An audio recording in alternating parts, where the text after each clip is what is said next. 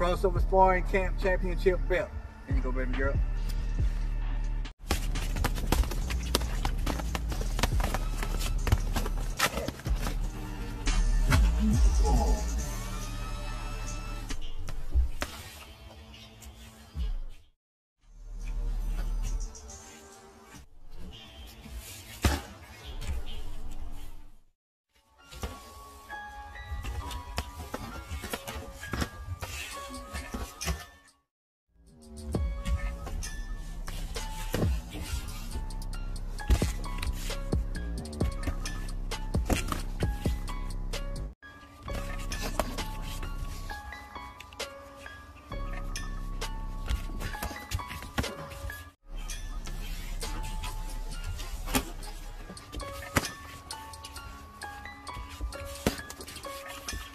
My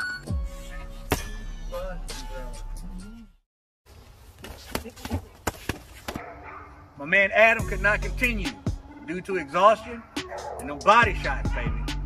This is real. Now, I know a lot of y'all might see this fight and say, hey, man, they're real inexperienced, but at least they strapped up and they got in here and did it.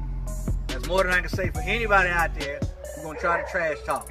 But without further ado, we have a new first time crossover sparring camp champion. And that is the pride of Arkansas, Trey Ingram, baby. good job for both of you guys, man. Trey, good job. Now, listen, with that being said, now, early next year, we already have a challenger for his first defense. Come on up here, Trey. Come on up here, y'all. Patrick McGuff, aka Top Clusion.